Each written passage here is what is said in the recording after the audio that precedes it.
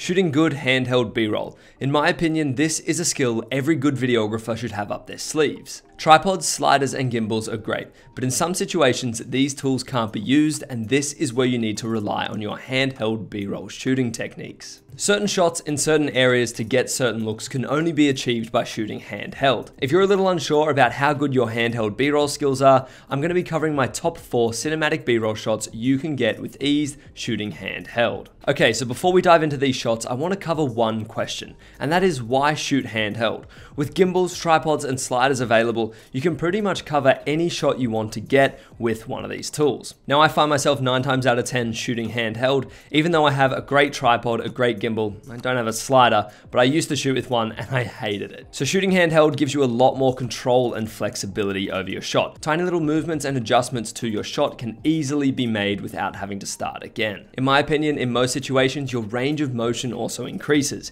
You can get a lot more shots in a very quick amount amount of time, which is something else, your workflow increases, but you can get a lot more shots in the same amount of time it would take you to get one or two shots with a gimbal or a tripod. Simply not having to set up a tool and easily being able to reset your body and hands is a breeze when you're out shooting, especially running gun stuff when you're on a bit of a time crunch. And finally, you get to keep a little bit of the natural flow in your shots. I really like the handheld look and you can usually tell when something's either shot on a gimbal, a tripod, or a slider, or if it was shot handheld. There's just a little bit of wobble and motion, and in my opinion, it does give a very nice cinematic feel and look if that's what you're going for. Okay, with that being said, there are times where I do use tripods and gimbals. Now, tripods are pretty straightforward. If you need to lock off your shot, use a tripod. I wouldn't recommend trying to get any motion with a tripod whatsoever, as tilting that thing forward and getting some kind of consistent motion is never ideal.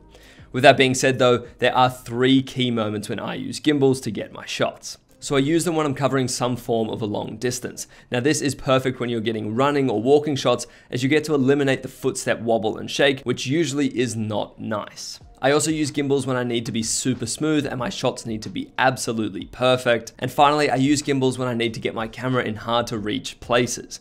Now this could be up really high or down super low. I find when I try and get a high angle shot with my hands, not only can I not hold the camera still whatsoever, but it's also always crooked, and same with really low shots. This is when a gimbal is ideal, but to be honest, I hardly find myself shooting shots like these. Okay, with that said and that now out of the way, let's move on to these four cinematic handheld B-roll shots you can use use and get with ease. Okay, so first up we have the orbital pan. And this is pretty much when you want to keep your subject dead center in the middle and you want to move around it. Now you don't just want to move side to side, that would just be a panning shot. You also want to include some circular motion into your shot. So what I mean by that is, let's use this microphone for example.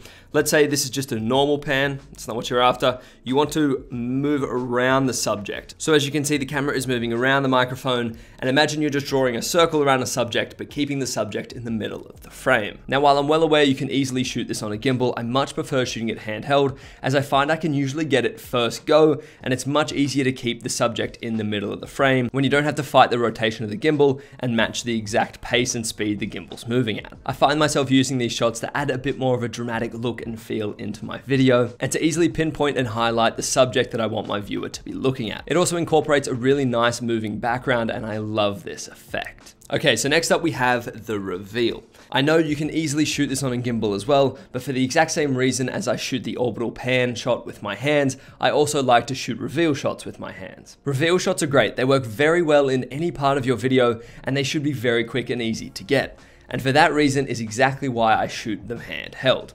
Of course, you've got all the other reasons I mentioned with the orbital panning shot, but the simple reason that I shoot these handheld is because they should be quick and easy. They're not in depth and they're not hard to get, so why would I want to make it more complicated?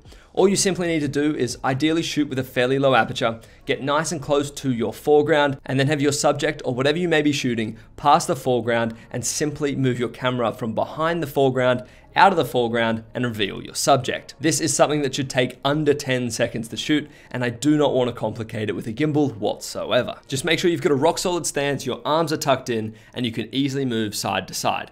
That's all you need. It's a very simple shot. Don't overcomplicate it. Okay, so next up we have the push forward and the pull back. Once again, very, very simple shots and shots that any videographer should have up their sleeves and be able to confidently shoot handheld. Ideally, you can shoot this through or over some kind of foreground to add a little bit more motion and depth into your shot. And yes, of course, just like every other shot, you can shoot this on a gimbal, but like I've been mentioning, there's just no need to overcomplicate it. These shots are an absolute staple in your video and can be used throughout the whole thing. These shots are great to use to progress the video, and you do want to be able to make sure you can confidently shoot these handheld when you're out in the field. Okay, last but not least is the twist out motion. These are pretty fun to use. Now, this is probably not something you're gonna be using all the time, and if it is, power to you. But these are super eye-catching shots and can easily draw your viewer into your video. The idea with this shot is very similar to the push in or push out shot, except you want to add a twisting motion into it. Now there's nothing too technical or complicated about this shot whatsoever, but it is a very, very nice way to add a little bit more spice into your video. If you're shooting at 60p or 120p, this is a very nice and simple way to be able to add suspense into your video